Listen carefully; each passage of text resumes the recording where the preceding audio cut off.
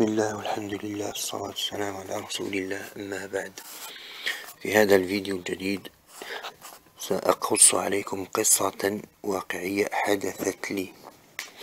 أنا رأيت أحد المخلوقات الغريبة والذي هو من أمة الزواحف في ألفين وستة في يوم من أيام الصيف حوالي بالتقريب كان في شهر أوت أو جويليا وهكذا.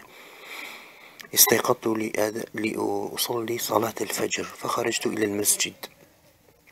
فاخترت أن لا أصلي في مسجد حينا وأن أغير أن أتوجه نحو مسجد آخر. يقع في مكان بعيد نوعا ما عن حينا. بينما كنت أمشي في الطريق على الساعة الثالثة والنصف صباحا كنت أمشي بخطى ثابتة ولم أكن أحدث أصوات وأنا أمشي كنت وهكذا. وعندما وصلت إلى مفترق طرق كانت هناك بالوعة عند جانب الطريق الرصيف جانب الرصيف. وأنا أمشي وكانت الأضواء منيرة أن تنير الطرق الطريق والشارع وهكذا. كان الضوء نعم أرى جيدا. فرأيت يدان صغيرتان تمسكان بقضبان تلك البالوعة فتحيرت كأنها يدي طفل في عمر من خمس سنوات وهكذا. وعندما كان يحرك أصابعه كان كان في أطرافها مخالب حادة جدا.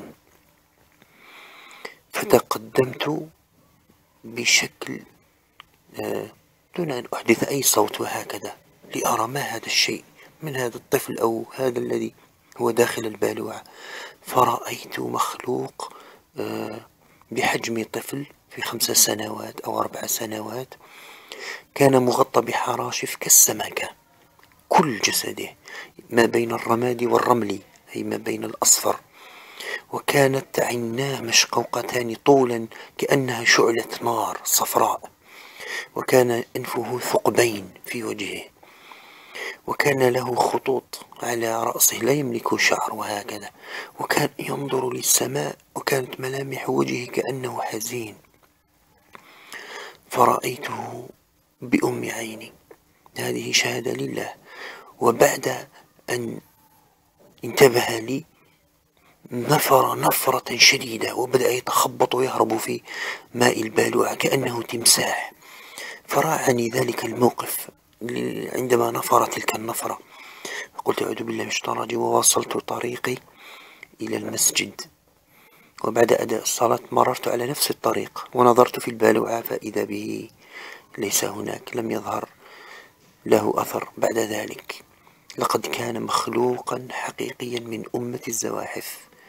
لقد رأيته في حينا حسين داي بالجزائر العاصمة في إحدى البالوعات وذلك في 2006 أي منذ حوالي 15 سنة. والله على ما أقول شهيد. فهذه المخلوقات